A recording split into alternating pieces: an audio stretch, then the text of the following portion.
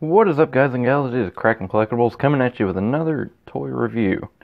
Today we'll be taking a look at the SH Figuarts Bandai Tamashii Nations Stone Cold Steve Austin. Alrighty, before we take a look at the figure, I will actually show you guys the box. Um, it is actually really cool, I like it.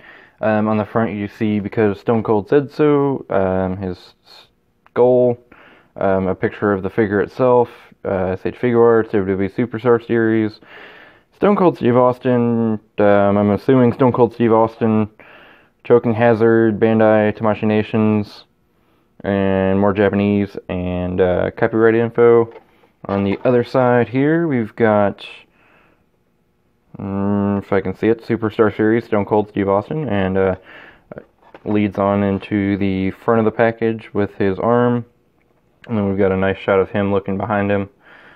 Um, SH Figuarts at the top. On the back, we see more action shots of the Stunner and uh, Stone Cold, and you can actually see the Rock in there as well. I eventually will get him.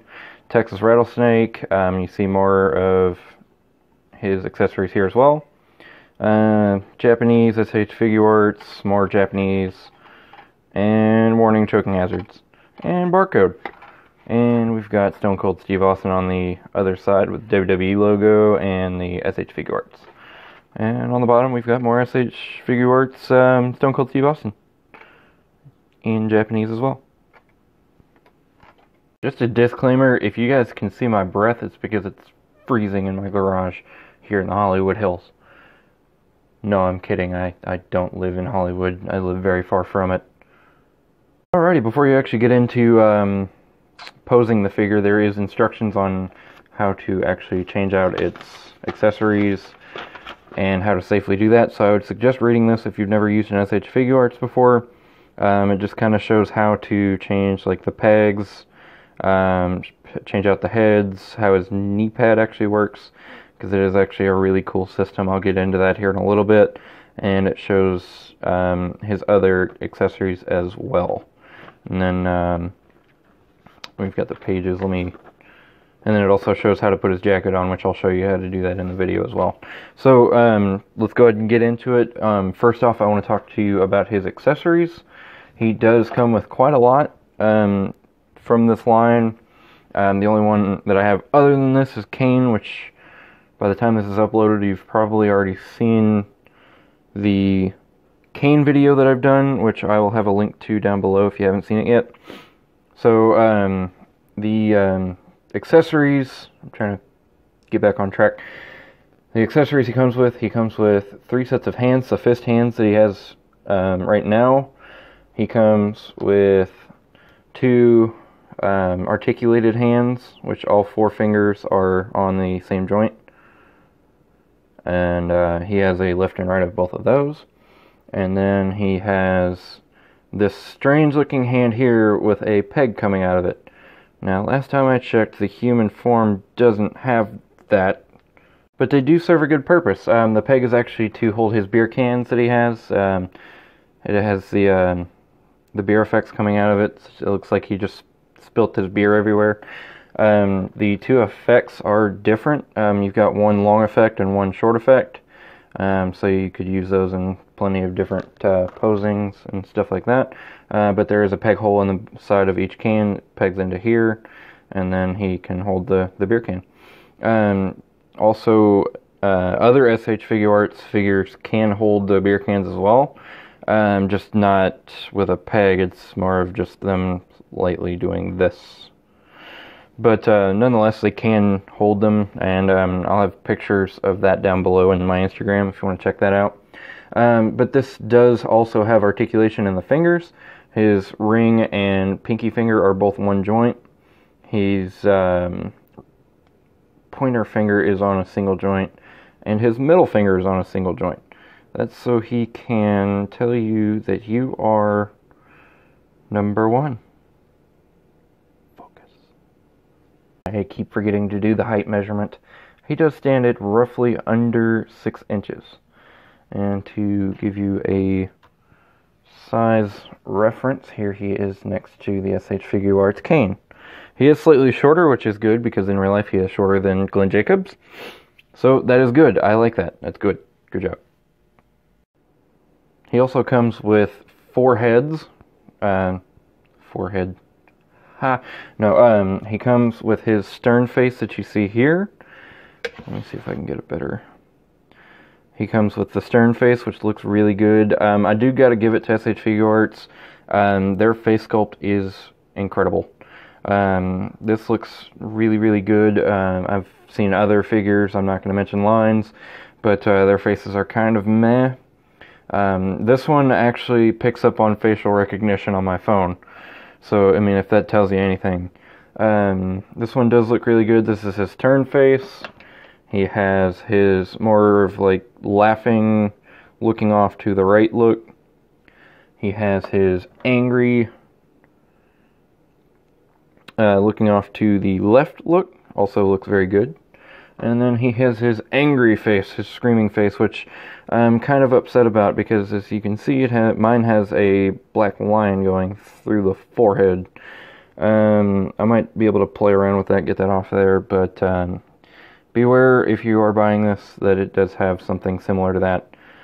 Um, I don't know if that'll be every one of them, but mine has this mark, which is upsetting because this is probably my favorite head that he comes with.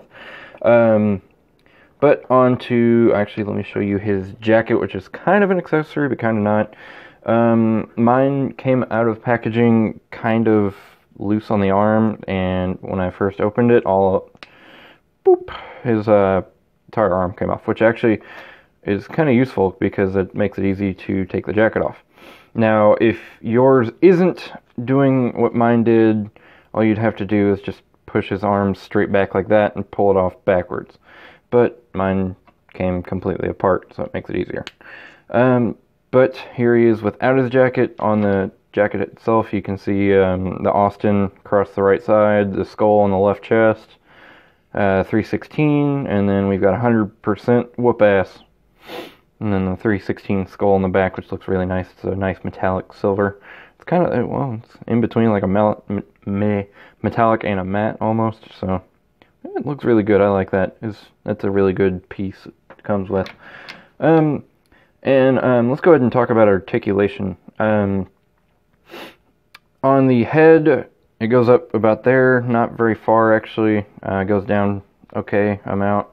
Does swivel 360 degrees because that uh, ball peg inside of there. Uh, you do have to be weary on that because this one does swivel down here. Uh, a little bit of front to back, but not much. And you can get some of his typical angry head shake thing that he did to Vince McMahon. Um, the arms go up to here, which I believe is actually a little better than Kane's was. Uh, you can rotate it 360 degrees, and it is on a butterfly joint, which a lot of people have complained about just because it breaks up the, the look of his chest. But with these, you kind of have to expect that. You have to um, have expectations because in order to get the articulation that you want, you have to kind of give up some of the sculpt, which I don't. I'm not a. I'm not I'm not against this. I like the look of it. I mean, it doesn't hurt too bad. I'm kind of used to the butterfly joints. Oops.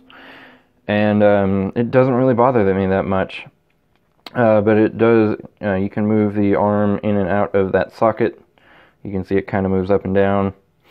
And uh, of course, he can use the butterfly to get across. And then he, he can move his arm across his chest about that far, which isn't too far, but I mean, it's good enough. Um, he has a double jointed elbow, goes past 90 degrees. And then he has a weird, uh, well, Kane has the same one. I, am figuring, oh, okay. I'm figuring that um, most of these SH Figuarts WWE figures have the same elbow joint, um, which has a swivel in the joint itself. So it swivels at the elbow and it moves the elbow cap as well. Uh, he does have a swivel at the wrist, which is just a ball hinge. So you can rotate it on that and then move front and back. And then uh, his, I guess his abdominal crunch, I would call it. Um, I don't get very much out of it. It's kind of upsetting, to be honest.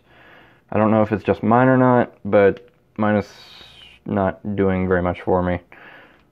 Um, the midsection crunch does very good. Uh, you can get crunch forward back, and then you can get pretty far back, but you do see a little bit of his crotch down here if you go too far back. And then um, on the legs, it is a ball joint, and I don't even know how to call that, to be honest. Um, you can push it up and pull it out to get more articulation forward. And then you can push it back in to make it a little bit less noticeable that it's a joint. And then you can rotate it on that joint in there. And then he goes out to here. Uh, no there. I can get it one more click. Goes out to there which is pretty good for doing his kick into a stunner and then doing the stunner pose and then it ratchets back to about there which is fine it's not I'm never going to pose him with his leg back like that. And then um, I said that he's got the swivel here at the leg. Double jointed knee, which I'll get back to here in a second. Does well, looks good.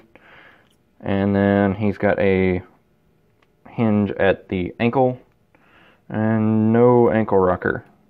Well, maybe. Maybe a little. And then toe hinge. But uh, going back to that knee pad, which is something we actually haven't seen yet, is a really really cool design to where he's got his um, support brace on. Um, these actually have individual joints inside of here. We've got one, two, and well, yeah, two joints here that when he bends his knee, it bends as well. So you're never going to have any issues with that. It just looks really good and it works in any angle you can see. So that is really nice. I really, really like how they did his knees and his knee pads. Alright, on to sculpt. There's not much uh, paint work to be done on this figure, um, aside from the face, of course, because it's their face print technology. The rest of it's pretty much just printed in, uh, printed, um, sculpted in his tan skin color. Um, you've got the, the black bands around his wrists, the black tights, which actually, uh, oh, actually, no, he doesn't have any. Never mind. I take that back. Um, yeah, it looks fine. He's got the black knee pads and the braces. Um, I'm seeing a little bit of smudging over here, but it's not something I'm, I'd notice without being critical about it. And then I've got a little bit of weird paint here on the knee, but nothing too major. And then you can see he's got his Texas Bull tattoo here. Let's see if I can get better lighting on it. Come on, focus. Focus. Focus. Yeah. Okay, so you can see the his skull tat skull tattoo, bull skull tattoo on his leg. I am rambling. I apologize. And then uh, you go down to the boots where they're just sculpted black, and then you can see the um, the shoelaces in there sculpted nicely. And it looks very good on the bottom. You just yeah, he doesn't have any pegs or anything. It's just uh, the information they have to put down here. Um, but yeah, other than that, that pretty much be it for my review. Um, if you guys enjoy it, please leave a like and comment down below. Um, I will leave a link down below for you to pick this up yourself if you're a WWE fan or a fan of wrestling in general. And uh, you, like I said, if you enjoyed the video, leave a like. Um, don't forget to subscribe. There should be a button right here. And I will have my latest video here and a random video here. And thank you guys for watching and have a good one. Bye bye.